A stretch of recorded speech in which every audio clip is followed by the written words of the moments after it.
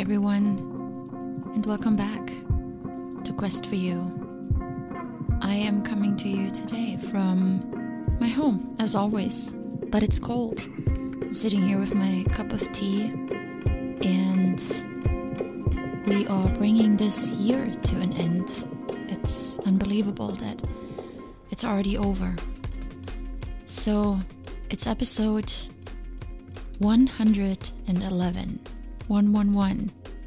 And we're going to talk about New Year's resolutions. Starting out with a quote from Turkish playwright, novelist, and thinker Mehmet Murat İldan. What do you need in the new year? You need a dream. Your dream needs an action. And your action needs right thinking. Without right thinking, you can have only unrealized dreams. And I found this quote today while I was researching the history of New Year's resolutions. It sets the stage nicely for this and a few more episodes that I want to devote to this subject. As part of this, and because as I was writing and preparing this episode, it was Thanksgiving weekend, I pulled out my 2017 goals and started reading through them. For the last two to three years, I've been more serious about resolutions. Before, I mostly ignored them, or maybe I've had something in the back of my mind. But I didn't actively pursue it as a goal. So I want to spend time on resolutions A, because the timing is right, and B, because they work. We are reaching the end of the year, and I know many of you are thinking about these resolutions. Maybe you're debating what your goal should be. Maybe you're also discouraged because they have not worked for you in the past. So I was curious where this tradition came from and how widespread it is. So, first, let's define it. According to Wikipedia, a New Year's resolution is a tradition, most common in the Western Hemisphere, but also found in the Eastern Hemisphere in which a person resolves to change an undesired trait or behavior, to accomplish a personal goal, or otherwise improve their life. The tradition is old. I have found that the ancient Babylonians are said to have been the first people to make New Year's resolutions, some 4,000 years ago. And they were also the first to hold celebrations in honor of the new year.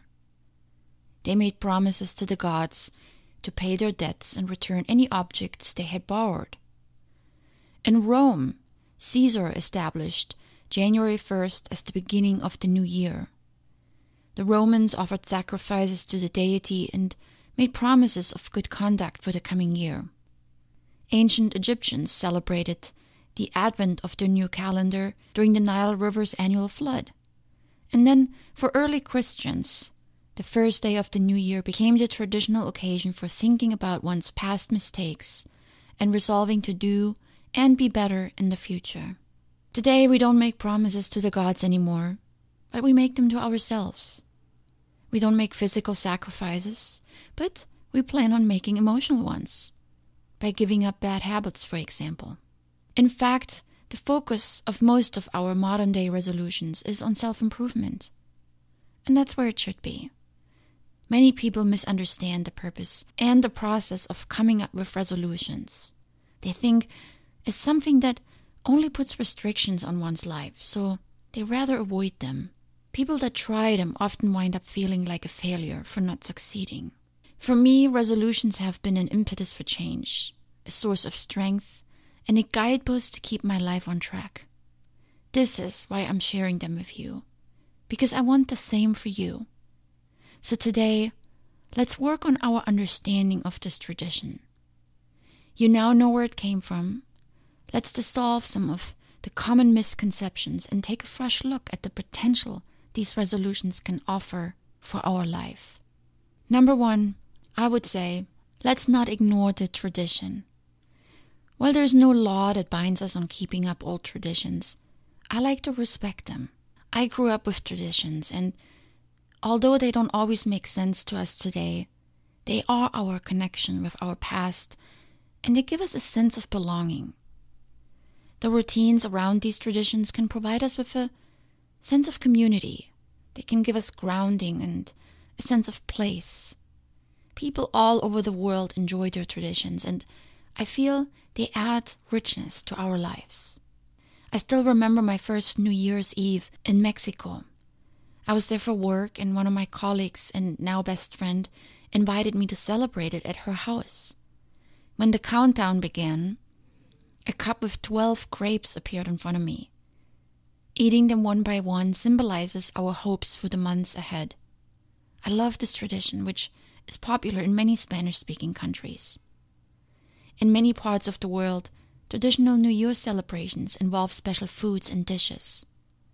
Legumes are common because they are thought to resemble coins and bring future financial success. There are lentils in Italy, black eyed peas in the south of this country. Pigs represent progress and prosperity in some cultures. So, pork is a common dish that appears on the New Year's Eve table in, in Cuba, Austria, Hungary, Portugal, and other countries. Ring shaped cakes and pastries in the Netherlands and Greece are a sign that the year has come full circle. And many countries watch fireworks, which welcome the new year.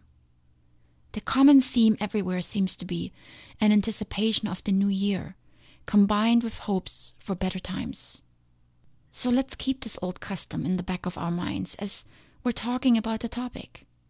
The aim is genuine and simple to celebrate a new year and to show some gratitude towards life by improving upon it.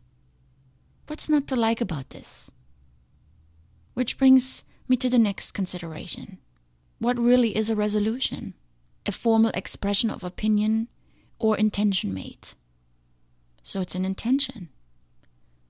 The act of resolving or determining a course of action, method, or procedure. A plan. A decision or determination to do something, which is an action. And the mental state of being resolute, meaning a purpose. So I find this quite amazing. A resolution is your intent to follow up on a plan with action and purpose. It's like a goal. And that's why I use these words interchangeably. There is a lot to the word resolution, but what I don't see here is what many other people think it is rigid concepts, black or white ideas that keep you locked in with a pass or fail mentality when in fact what I read in the Word is simply a proposal to make a change, maybe to solve a problem, to find a new solution, to do something better more consciously.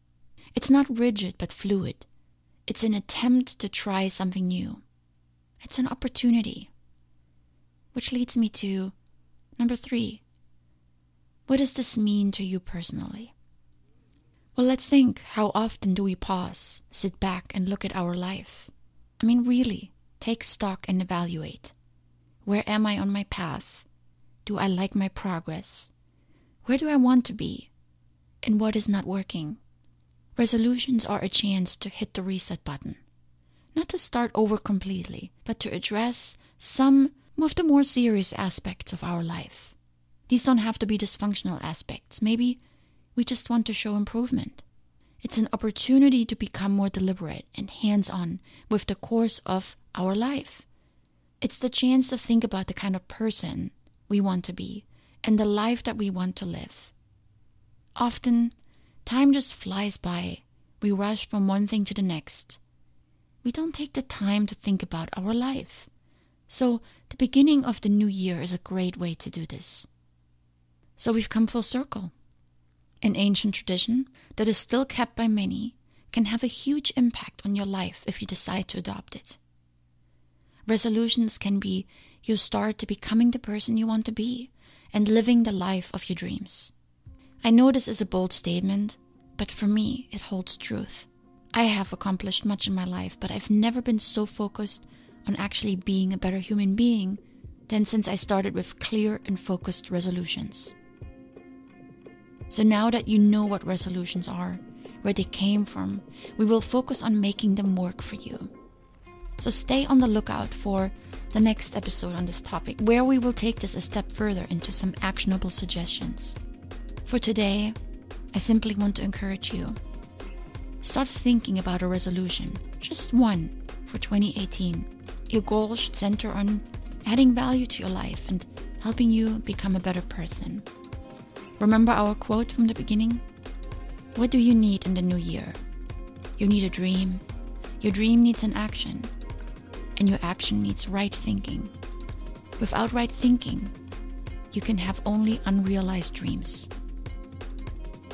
Thinking, action, dream. So start thinking now. And I will talk to you tomorrow. Have an amazing day. Much love.